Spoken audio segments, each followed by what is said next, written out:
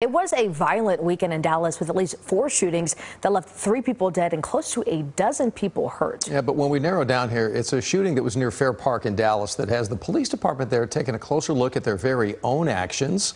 Amelia Mugavero live over at DPD headquarters with the investigation. So bears the question, why are they doing that?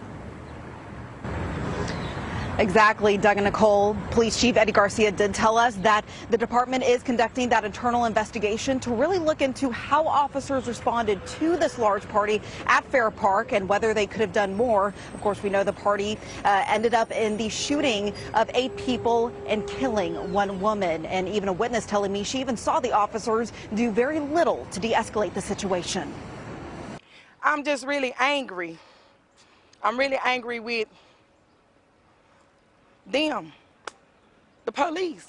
A memorial now on the corner of Collins and Clarkson, where 21 year old Carisha Bradford was shot and killed at a block party Sunday morning.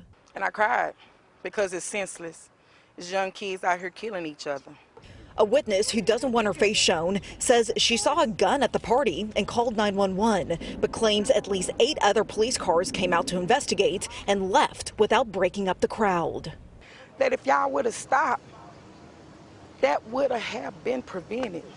According to Dallas police, officers did respond to a shooting call at the party around 11 p.m.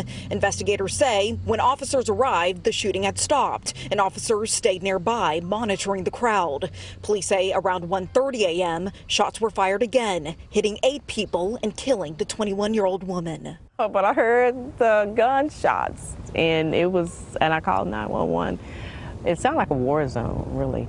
Alendra Lyon says the neighborhood is known as Mill City, and this type of crime is nothing new. She actually founded the Mill City Association to help reduce crime and large parties.